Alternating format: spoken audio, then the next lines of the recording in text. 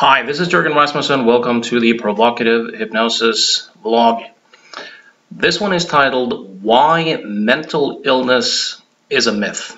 Why mental illness is a myth. Now, some of you may be attempted to diagnose me with a mental illness or for being slightly deranged just by suggesting that something as obviously true and well established conventionally as the notion of mental illness may indeed be a myth. Clearly, I have to be out of touch with reality, out of touch with scientific findings, and have to have been more or essentially, you know, hiding under a rock to make such a claim.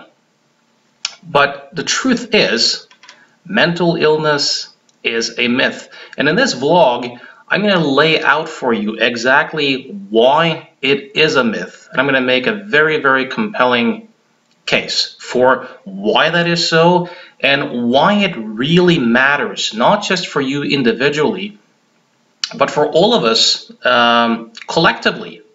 And especially if you if you struggle in your life or if you work as a therapist, getting this simple, getting the fact that mental illness is a myth will truly, truly make a difference.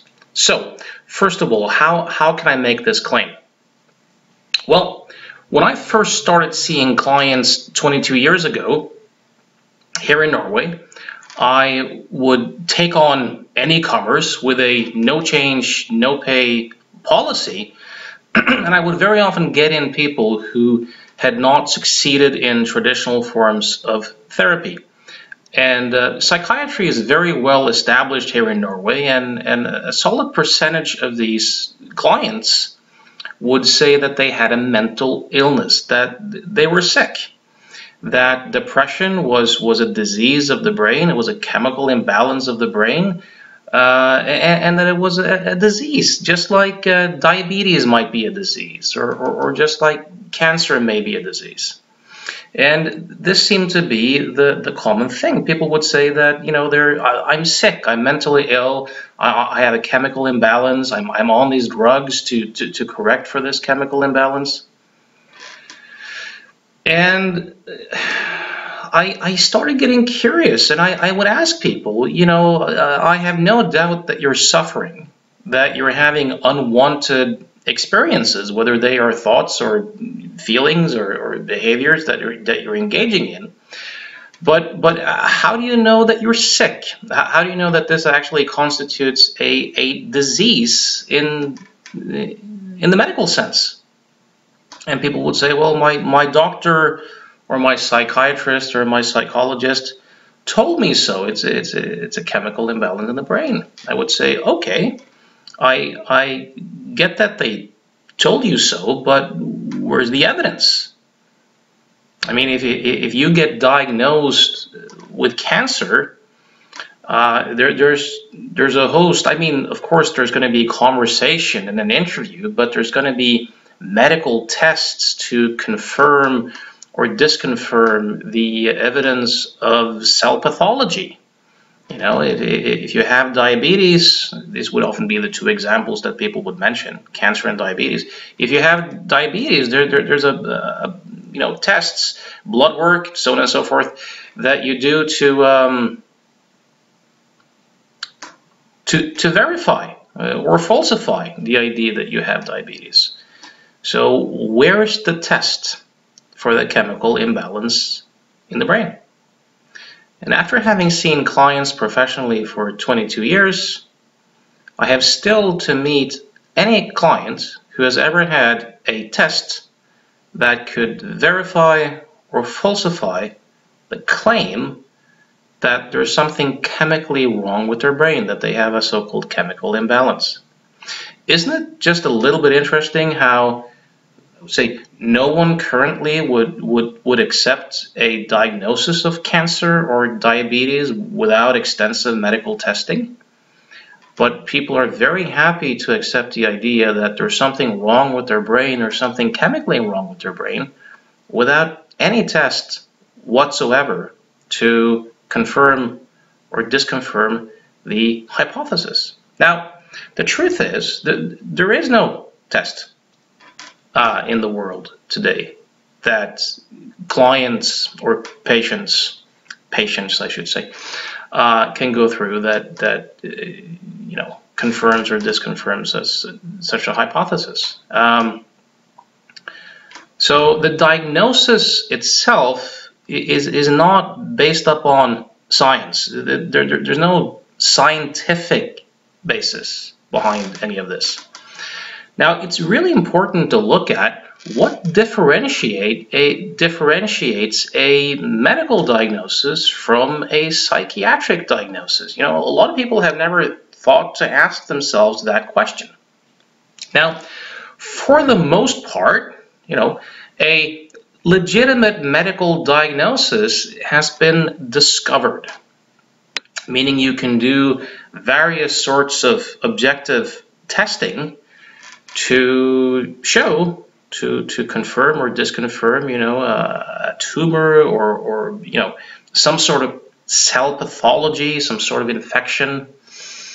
Um, all the psychiatric diagnoses on the other hand have been invented.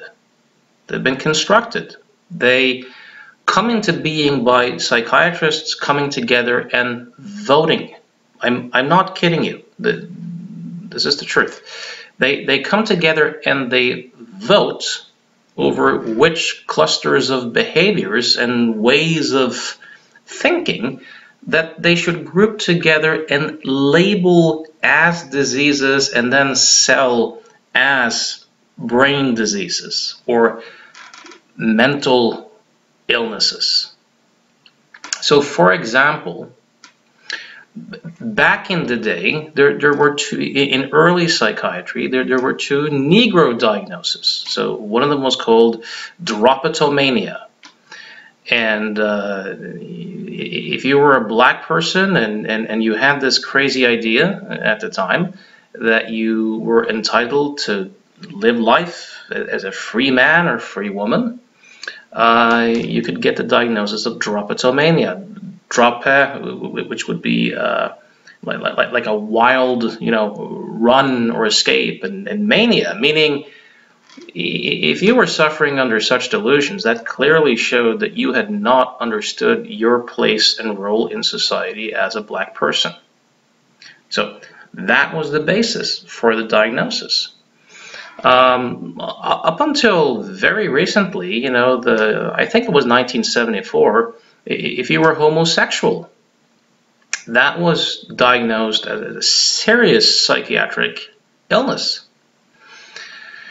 But, but then, of course, the, the norms of society changed. The values of society changed in the Western world. Christianity, you know, lost more and more of its, you know, grip. Uh, so they voted psychiatrists got together and they voted, and, and now they voted that, that this was a sexual orientation. So overnight, homosexuality went from a serious psychiatric disease to a sexual orientation. Now, the interesting part here was that there was no medical evidence in, in which uh, homosexuality was deemed to be a disease to begin with and there was no medical evidence that rested as the foundation of, of homosexuality becoming uh, a sexual orientation. It's just that the norms of society and the powers to be changed, and therefore what was a disease and what was not a disease uh, changed. Somewhat ironically, if you were a white supremacist or, or, or you know racist or a, uh, you know a Nazi or something like that, and and and you you know championed that that black people in fact should be slaves and that that that was their proper you know role in society today that could easily land you a psychiatric diagnosis. Or if if you were to to uh, make certain claims about homosexuality, you know, to, to, today you would be the one who, who would be more likely to, to end up with a psychiatric uh, diagnosis. Think about that. So, for example, in, in the last edition of, of DSM, DSM-5, rapism was about to get voted in to become a disease, the, the, the so-called disease of rapism. You know, you, you have people who, who commit multiple rapes. Um, but then a lot of protests came in, you know, from the more feminist branches, I think, if my memory serves me correctly, uh, being concerned that if rapism became a disease, then the rapists might get more lenient punishments and, and get all sorts of benefits and advantages that very often come with a di diagnosis, you know, in the legal system. So as a result of those protests, it, it was not voted in to become a disease. Now, let me ask you this. Is, is a profession that operates like this a scientific endeavor? Does, does this reek of scientific credibility or, or, or a field that really deserves credibility or, or that deserves or trust? Because if, if you start looking at this, you start to realize that a lot of psychiatry diagnosis, disagreement as disease. I'll say that again. A lot of psychiatry diagnoses disagreement as disease. In my mind, that, that that's a huge ethical flaw. It's just really, really bad ethics. So a, a lot of this is uh, state sanctioned social control masquerading as medicine.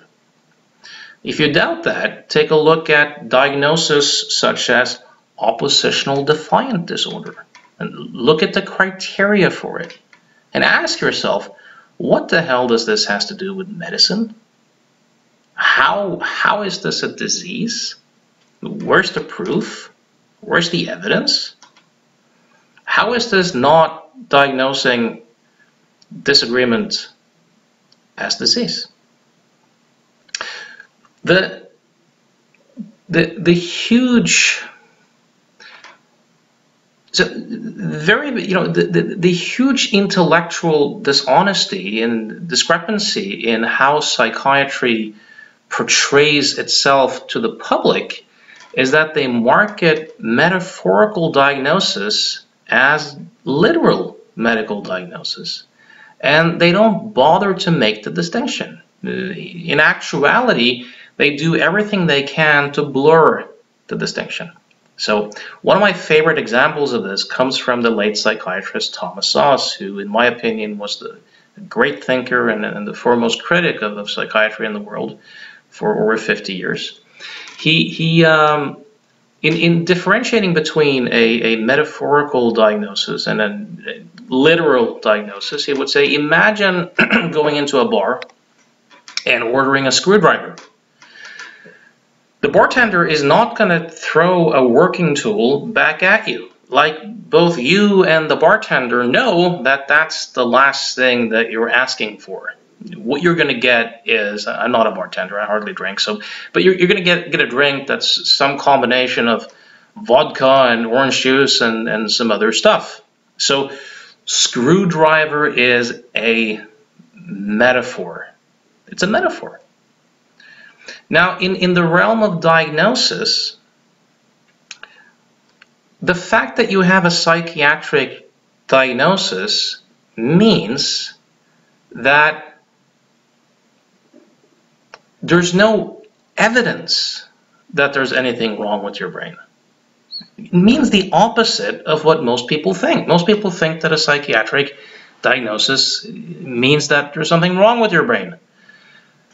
There may be, but, but the psychiatric diagnosis per definition means that there's no evidence of such being the case, meaning you haven't gone through neurological tests that have shown some sort of pathology, or some pathology hasn't been discovered. So hear me clearly, I'm not saying that there may not be something wrong in the brains of some people who have psychiatric diagnosis. I'm not saying that. I'm saying that the psychiatric diagnosis in and of itself shows that there's no evidence of such a thing. Because if there was, you wouldn't be having a psychiatric diagnosis. You would be having a neurological diagnosis. You'd be diagnosed with Alzheimer's or Parkinson's or multiple sclerosis or um, a brain tumor, actual brain diseases based upon there, there being the discovery of brain pathology based upon actual testing, right? In that case, you wouldn't be having a psychiatric diagnosis and you probably wouldn't be seeing a psychiatrist either.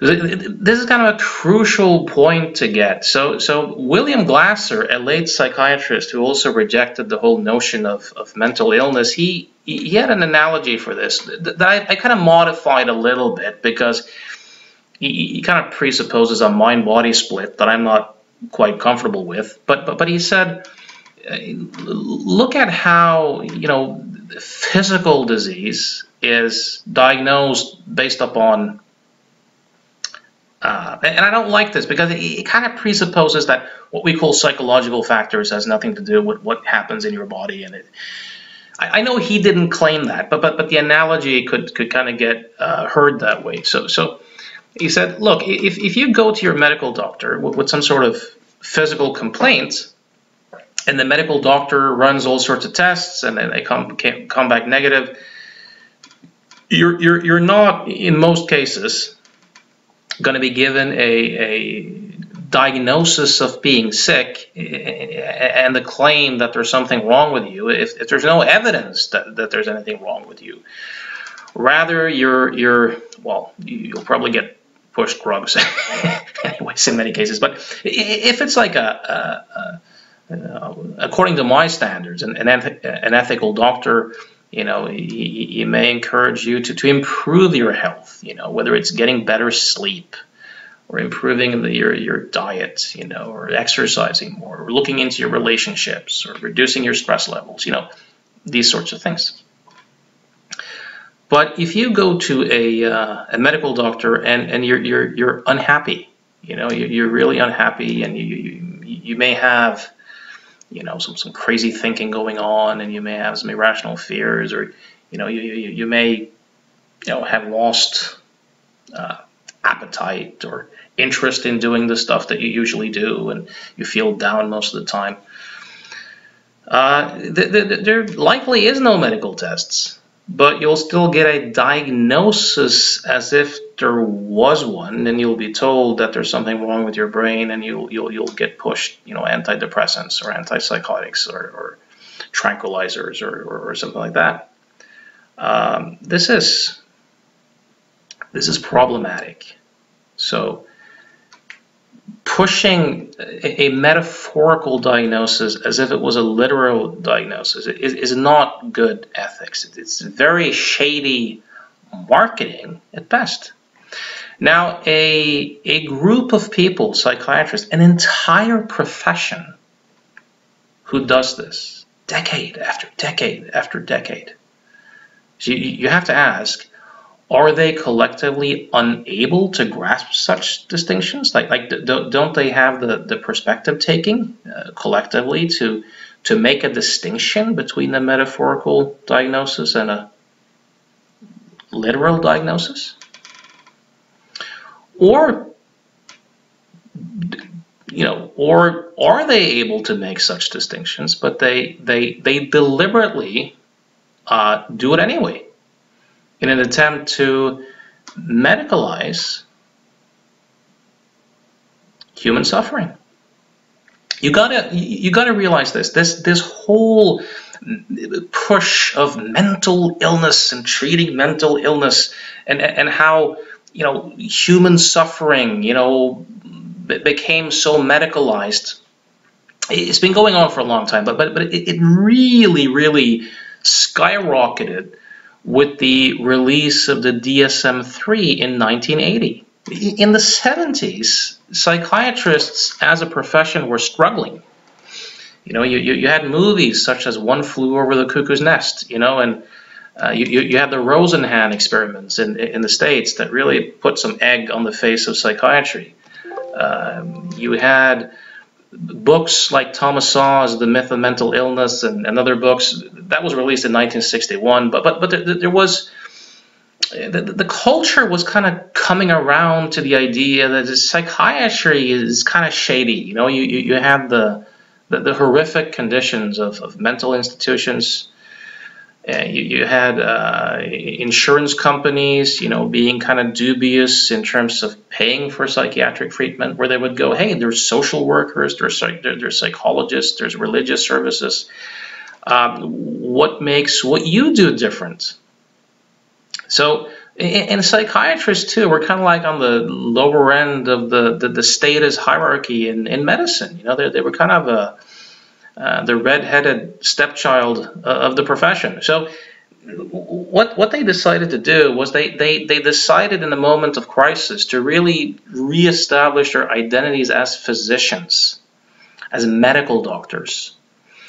And in a very successful marketing campaign, in, in accordance with the, the, the big pharmaceutical companies, you know, of course, they there's no brain pathology that's been found in, in, in any of these psychiatric conditions. So, so they, they really started to promote the idea of chemical imbalances in the brain based on zero evidence. But they, they sold the story and, and we got a lot more diagnosis as well, meaning a lot more of, of like the human predicament was was medicalized because if you no longer restrict yourself to medical testing, but you can just use metaphorical diagnosis, there's no limit to what you can diagnose as a disease.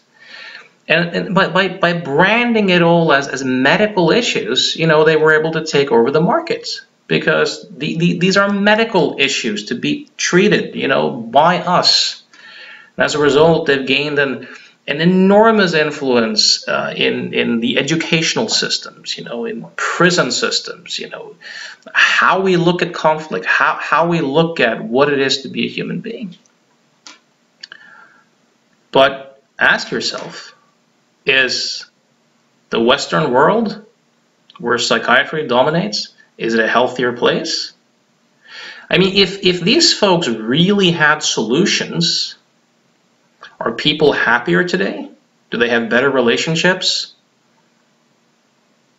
Like you, you'd have to, I think you'd have to do a lot of mental acrobatics to claim that the these diagnoses and these drugs have made the world a better place, that, that people are mentally healthier today than they were in 1980. I, I think you'd really, really, really have to have to do a lot of mental acrobatics to, to be doing that.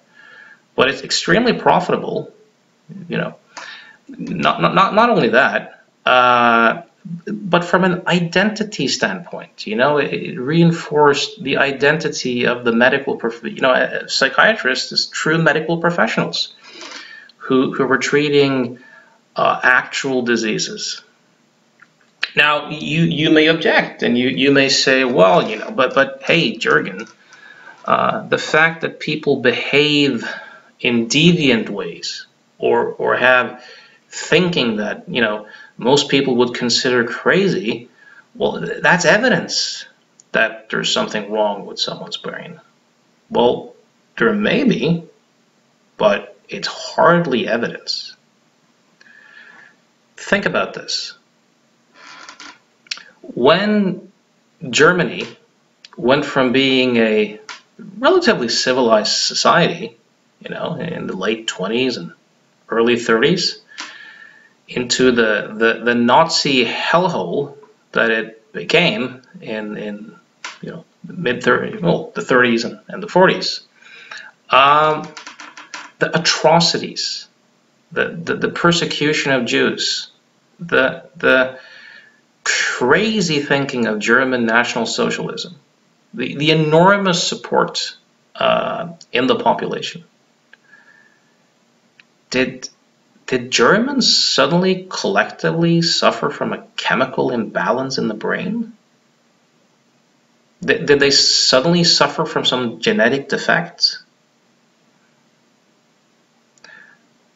If, if you were one of the protesters in Germany during that time, you would be the one with the psychiatric diagnosis. You would be the crazy one.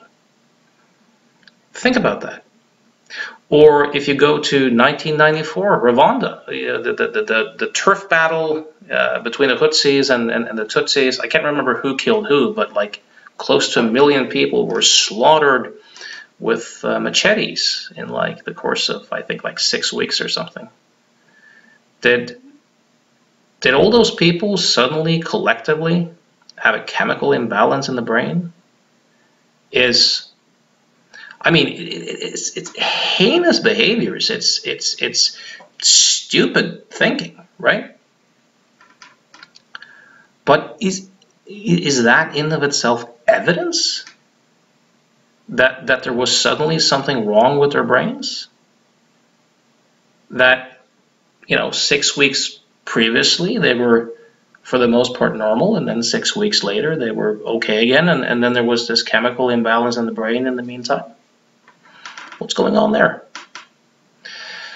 Notice when I when I previously talked about uh, psychiatry being um, state appoint, state appointed means of social control masquerading as medicine.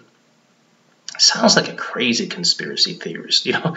Sounds like I'm unreasonable in my claims, but whether you get whether you get diagnosed as crazy or not largely depends upon the culture you live in and whether you know how many people who agree with your your thinking? And and are there powerful organizations to back you? So another thomas Szasz example you know he used to say that uh, if you went to church and you prayed to god you know you're a good christian. If god talks to you you have schizophrenia. So if a bunch of people get together collectively and they hallucinate a God and, and they pray to him, they're, they're good Christians. You can talk about, you know, the virgin births, you know, Jesus standing up from the dead. You know, you, you, you can talk about things that to me sound completely crazy, and not only will you not be called crazy, you, you can socially demand respect for your beliefs. But if you were to suddenly say in a business meeting, you know, you know, God tells me not to disclose that to you, and you were serious, it's not socially acceptable. Now you're suddenly in trouble. And God is supposed to be the omnipotent one, meaning you can talk to him, but he can't talk to you. Like, what, what's, what's that all about, right? Or you could, you could claim that the most marvelous human being to ever walk the earth was a warlord who had sex with children. It was a pedophile. His name was Muhammad. You could you you could claim that this is human perfection, and you could you could take a holy book that's that's full of of uh, promoting violence you know and you could you, you could call it a religion of peace. And these you know 1.3 billion people support this. In my mind madness. Now granted people interpret these texts very differently. There are more or less plausible interpretation of the texts. But but you could you could claim that homosexuals should be you know stoned and that apostates should be put to death and you know that that uh, uh, non-believers uh, should should pay a special tax. Uh, you, you could claim all these things and you, you can demand respect for it. But in today's current climate, for example, for me, when I make these claims, this is no longer socially acceptable. We don't really have freedom of speech anymore. So now, now I could easily be labeled as this is hate speech. This is a crime. Jurgen suffers from Islamophobia. Now, notice how that term gets thrown around Islamophobia. It means that any critique of a set of ideas, of an ideology, is evidence that there has to be something irrational and sick in my thinking. Why isn't there a capitalistophobia or uh, Buddhistophobia or even Christophobia? Why is there currently, in this politically correct climate, only one set of ideas that you can't critique? If you critique it, uh, you're suddenly an Islamophobic. Norwegian, you know, uh, Norwegian state at the moment is planning uh, uh, how how to combat Islamophobia, right? As if this is uh, this is something legitimate. So what you know what about so for example if if, if believing in in strange things so for example when i grew up in in norwegian public school we learned a little bit about the atrocities of german national socialism and and and the nazis i learned nothing about communism i learned nothing about the horrors and the atrocities that the communist ideology has led to place after place, time after time. What about now, the reason for that, of course, is, is that a lot of the teachers in Norwegian public school are closet communists. You know, they, they, they kind of support the ideas. So they're, they're not going to criticize them. But what about people, what about people who, who support that ideology, who, who just won't, in my opinion, reality test? and, and, and look at the consequences of, of that ideology. Why is that not a mental illness? Why is not believing that a warlord who was a pedophile, being the most awesome human being ever, why is that not a mental illness? But why is distrusting authority and asking too many questions the mental illness of oppositional defiant disorder? Think about it. Really, really think about it. Now, some people will make the claim that, uh, well, the fact that these drugs work, that's evidence of chemical imbalance in the brain. Well, I have news for you. You know, even in, in diagnosis such as schizophrenia, which is kind of the sacred symbol of psychiatry, even though there's hardly any agreement what it really is, uh, third world countries have way higher success rates than first world countries, like way higher, where, where they don't use the drugs and they don't they don't do this stuff. Even the World Health Organization has admitted this. The, the truth about uh, psychiatric drugs currently, the, the, the meta test, you know, meta tests are back. Uh, none of them, none of them have evidence that people using them long term are better off than people not using them. None of them. Something to contemplate. Probably didn't know that. Why didn't you know that? Why isn't that first page news in your in, in your mainstream media? How how could that be? Isn't that just a tad interesting? Now, this is this is fuzzy logic because it's a bit like let, us say that you were a, a guy or a girl and you were out at a bar and you fancied someone and you, you were too anxious to go up and introduce yourself so you had a couple of beers and a couple of shots and now you have the courage to do it so okay great uh, is is that evidence that the shots and the beer corrected a chemical imbalance in your brain that made you unable to, to move? Was it lack of beer that, you know, is this. So what you could, you know, it, would be way more honest, you know, with drugs. So let's say someone's unhappy and they go to a psychiatrist in, in, instead of marketing this this idea of a chemical imbalance in the brain, if, if someone's not psychologically oriented, for example, and they insist upon a pharmacological solution to life's.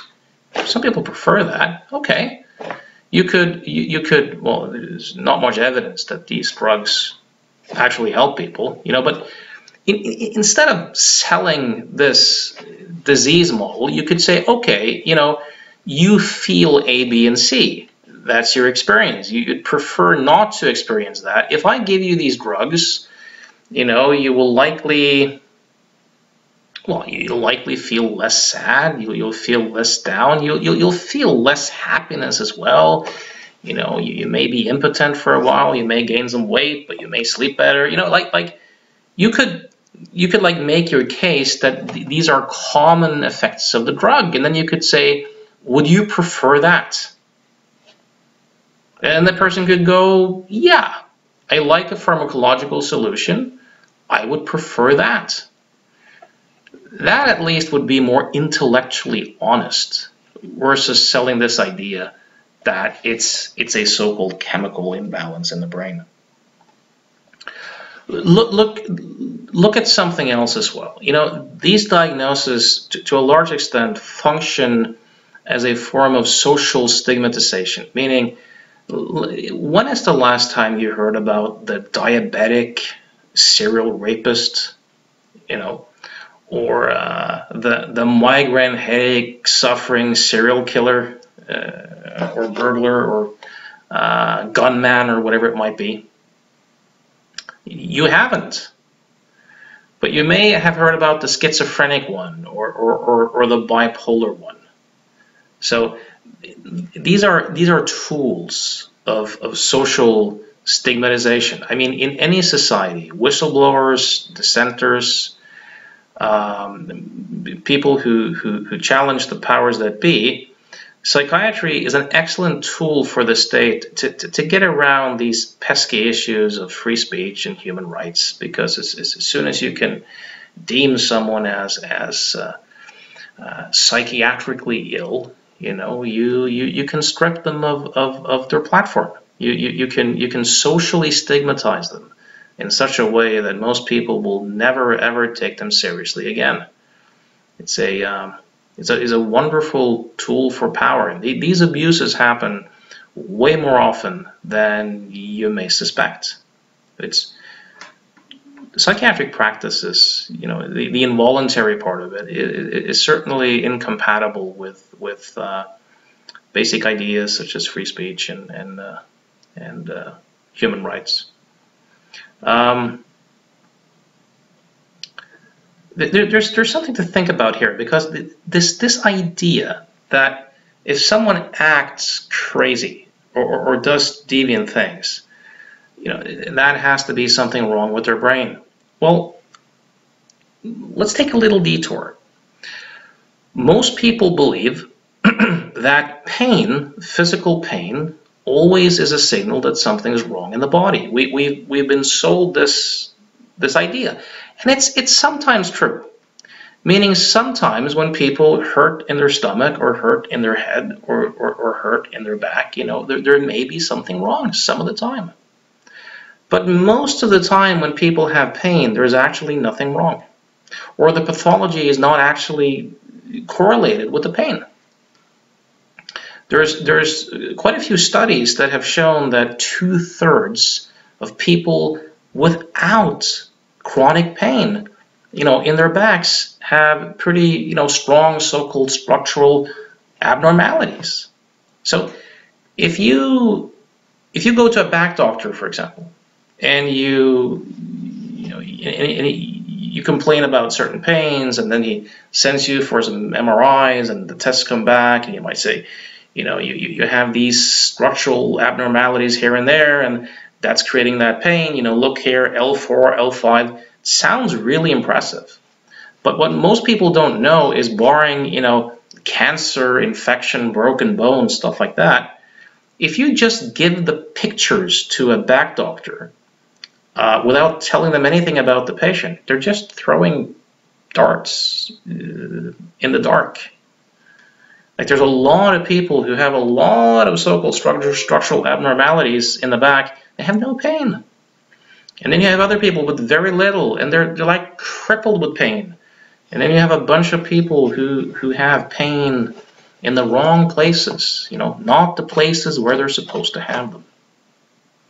All, a, a, a normal brain, whatever that would be, can easily generate chronic pain. All it would have to do is to reduce the amount of blood flow to a to an area so that you suffer from mild oxygen deprivation. That hurts like a bitch. A brain can do that. So, if you can hear voices, if you can hear me speak, if you can see stuff, if you can feel stuff, a healthy, you know, a, a normal brain can easily produce a hallucination, can easily hear voices or see things that aren't there based upon conventional reality, or, or use creativity to create all sorts of hallucinations and, and delusions. This is child play for a brain. Anyone who has experience with hypnosis and hypnotic phenomena has seen whatever a normal brain is do all sorts of fancy stuff. This is in and of itself not evidence of brain pathology. It's just sloppy thinking. Now, it is, of course, true that when, when brains are damaged, you know, people very often end up behaving weirdly. That is often true. But it's not always true. You have, you know, quite a few people who have had, you know, glimpses of what we in meditation called awakenings or enlightenment experiences, have likely had a stroke. You, you, you can read Jill Bolte Taylor's book, you know, My Stroke of Insight, to, to, to get some wonderful descriptions of this. Uh, you, you also have examples of people who have been knocked unconscious. And then afterwards, they discover that they have some amazing abilities that are positive.